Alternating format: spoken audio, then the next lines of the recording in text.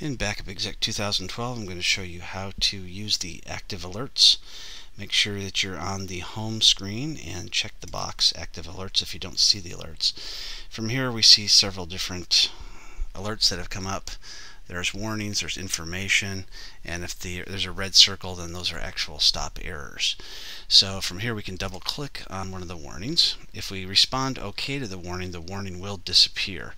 Otherwise, we can scroll through each of these warnings. We can scroll down to read the in, in entirety. We can choose next to see the next warning. Now we get into the informational. You can see the blue eye there and we can continue scrolling through there. So if we don't want to see these alerts anymore, if we're done reading them, just go ahead and click respond OK and then each one of those alerts will disappear as we do that.